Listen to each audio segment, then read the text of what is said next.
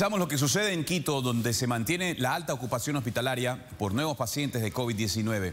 Los sectores que se registran mayor número de contagios en la capital, se los contamos ahora. En Ecuador, alrededor de 206 mil personas se han contagiado de COVID-19.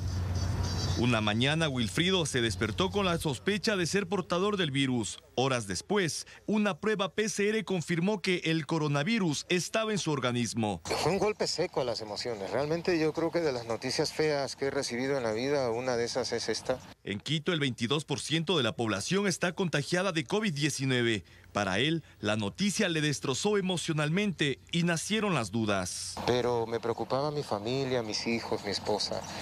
Las tres parroquias con más contagiados en Quito son Cotocayá, en donde 90 de cada mil habitantes tienen COVID-19. En Chillogallo, 80 de cada mil habitantes. Y en La Magdalena, 75 de cada mil. Situación que ha saturado al sistema hospitalario.